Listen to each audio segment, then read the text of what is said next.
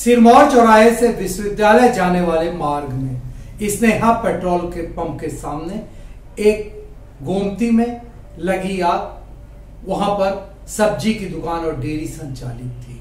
समय रहते आग पर स्थानीय लोगों ने पाया काबू, कोई बड़ी जनहानि नहीं हुई। रीवा के व्यस्ततम मार्ग, सिरमौर चौराहे से विश्वविद्यालय जाने वाले मार्ग में, स्नेहा पेट्रोल पंप के ठीक सामने सब्ज़ी और डेयरी की दुकान संचालित थी। यहीं पर एक सिलेंडर में लगी आग, जिसे स्थानीय जनों ने आग पर काबू पाया। इस दौरान दुकान में रखा हज़ारों का सामान जलकर हुआ खाक। अच्छी बात यह रही, व्यस्ततम मार्ग पर इतवार की वजह से और सिरमौर चौराहे में फ्लाई ओवर बनने की वजह से भीड़ काफ़ी कम थी। हालाँकि इस मार्ग में भीड़ काफ़ी होती है। दोपहर होने की वजह से भी भीड़ कुछ कम थी। समय रहते आग पर काबू पा लिया गया। जिस जगह पर आग लगी, उसके ठीक सामने एक बड़ा पेट्रोल पंप संचालित है। रीवा के विश्वविद्यालय मार्ग में स्नेहा पेट्रोल पंप के सामने उस समय अफरा तफरी का माहौल निर्मित हो गया, जब दोपहर को एक सब्ज़ी और डेयरी की दुकान में वहाँ पर रखे एक सिलेंडर की वजह से आग भड़क गई। जब तक कोई कुछ समझ पाता, आग पूरी तरीके से दुकान में फैल चुकी थी। तत्काल ही विद्युत मंडल को फ़ोन किया गया। विद्युत मंडल की गाड़ी ने आकर लाइट काटी। स्थानीय जनों ने आसपास से पानी का इंतज़ाम करके आग पर काबू पाया। इस दौरान दुकान में जो भी सामान रखा था, वह पूरी तरीके से जलकर खाक हो गया। रीवा में अभी कुछ दिन पूर्व ही पावर हाउस के पास खाद के गोदाम में भीषण आग लगी थी, जिसे समय रहते काबू पा लिया गया था। दोनों ही मामलों में अच्छी बात यह रही, किसी भी तरीके की कोई जानहानि नहीं हुई। रीवा के स्नेहा पेट्रोल पंप के सामने, जैसा कि आप अपने स्क्रीन पर भी साफ़ तौर से देख पा रहे होंगे, जिस तरीके से आग की लपटें निकल रही हैं।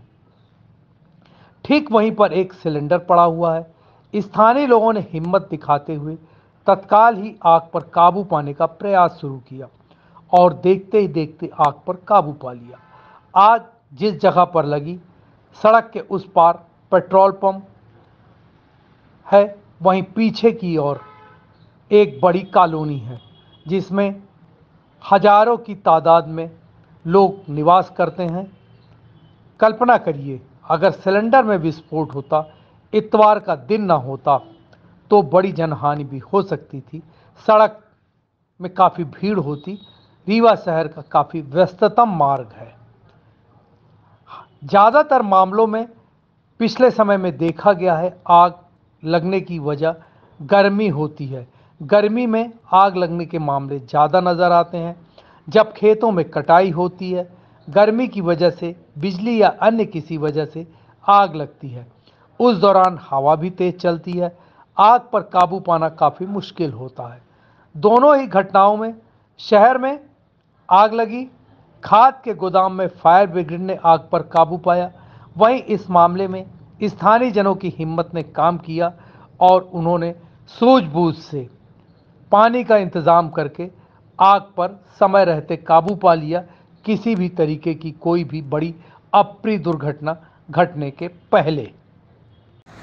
मैं यूनिवर्सिटी रोड पर जा रहा था, स्नेहा पेट्रोल पंप के सामने गोमती में आग लग गई। और जब मैंने देखा तो मैंने गाड़ी रोकी और वहाँ के स्थानीय लोगों ने उसको बुझाया है। कोई उसमें जनहानि नहीं हुई है। संयोग की बात है कि जागरूक व्यक्ति वहाँ पर थे और उन्होंने आग बुझाई।